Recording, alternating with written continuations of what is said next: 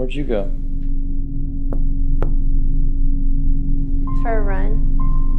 I didn't know you were the running type. Dessa? It's a business trip.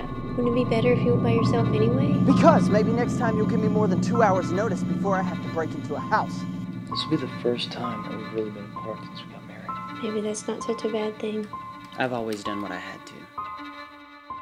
Andrew, I need you to let me go. That's not gonna happen. How do you know my name? I don't leave room for mistakes. The whole reason we're here is because you're not honest.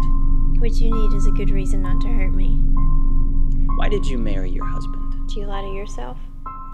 It's nothing personal.